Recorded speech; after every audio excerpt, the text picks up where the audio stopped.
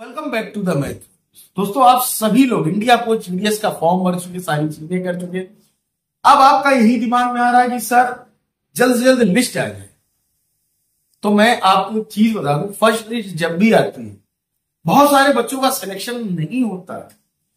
बहुत सारे बच्चे कहेंगे, सर, आप ये क्या कह रहे हैं? आप तो निगेटिविटी फैला रहे नहीं बेटा। निगेटिविटी नहीं, मैं आपको एक सच्चाई से रूबरू करा। होता क्या है, मैं आपको बता दूँ कि जो ये फर्जी वाले, फर्जी इन द सेंस आप समझे।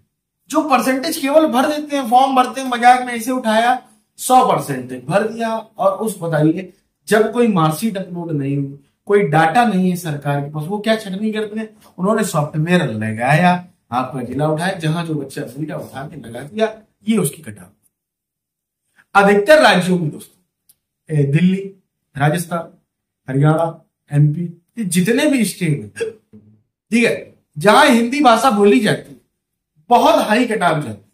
ये आप समझ अन्य जगहों की वही कम जाती है। असम की सबसे कम जाती है। कई ऐसे क्षेत्र है वहाँ पर। गुवाहाटी के आसपास शिलोंग हुआ मेघालय में नागालैंड।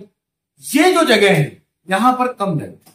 और वो अभी जब से लैंग्वेज का रिस्ट्रिक्शन इन्होंने लगा दिया इन्होंने लैंग्वेज के दो सब्जेक्ट वहाँ पर बोल दिए कि होना ज़रूरी है स्कूल तो, तो वहाँ से गेम चेंज हो गया। तो हर बच्चा फॉर्म नहीं भर पा रहा, आप समझिए बात। ठीक है? इसलिए चीज़ें ये बदल रही। और जब बदलती है तो दिक्कत होती। तो पहली लिस्ट में नहीं होगा, घबराना नहीं भैया कि पहली लिस्ट में नहीं हुआ, आप मेरा सिलेक्शन नहीं। अगर आपका एक अच्छा परसेंटेज है, अच्छी जगह से आपने फॉर्म भरा है, मैं गारंटी दे रहा हूँ आपका सिलेक्शन होगा। लेकिन अब हाई कटाव जाने का एक सबसे बड़ा दोस्तों कारण है, ये कोविड का काल इसमें लोगों को परसेंटेज भर भर के मिले बिना पढ़े। एक तो इसमें दोस्तों, अब सीबीएसई आईसीएससी वाले भी बच्चे इंटरेस्ट दिखा रहे हैं, बताइए। बेरोजगारी का इजालम आपने सीबीएसई आईसीएससी बोर्ड से पढ़ाई पढ़ी। आप वेल एजुकेटेड है, इंग्लिश अच्छी बोलते सब कुछ है। मुझे लगता है आज के समय अगर किसी के पास स्किल है तो वो पछताएगा नहीं, घर बैठ के भी पैसा कमा सकता है। आप देख लीजिए, बहुत सारे क्रिएटिव है। अरे गेमर है, वो भी क्रिएटिव है, आप उसको ये ना सोचिए अरे वो ऐसे ही कर रहे हैं। तो एक मोबाइल उठा करके आप बहुत कुछ कर सकते हैं। अगर क्रिएटिव माइंड है। ठीक है फ्रीलांसिंग बहुत कुछ है वैसे। मार्केट में बहुत कुछ है, लेकिन वही बात आपके अंदर स्किल होना चाहिए। अब वही है कि पिताजी सरकारी नौकरी कर रहे हैं, मुझे भी करनी है।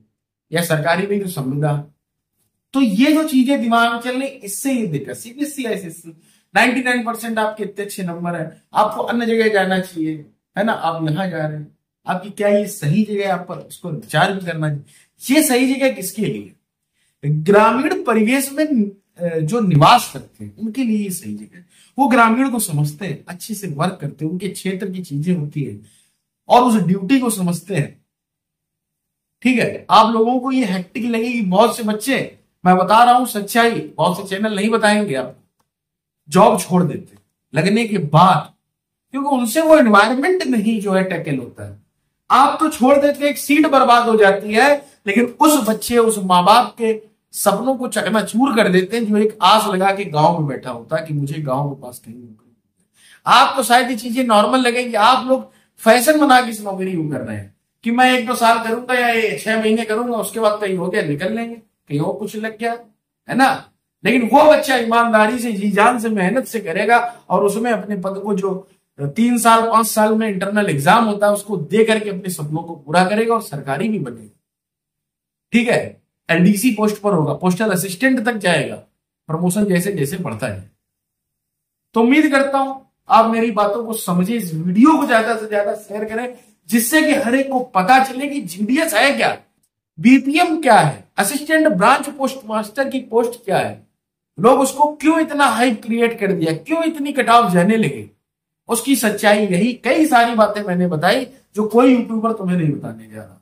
उसकी कड़वी सच्चाई यही है, सभी को केवल व्यूज़ चाहिए। बस, सिंपल सा गेम है। उम्मीद करता हूँ मेरी बातों को आप समझ गए। जुड़ गए हमारे चैनल मैं वॉरियर से।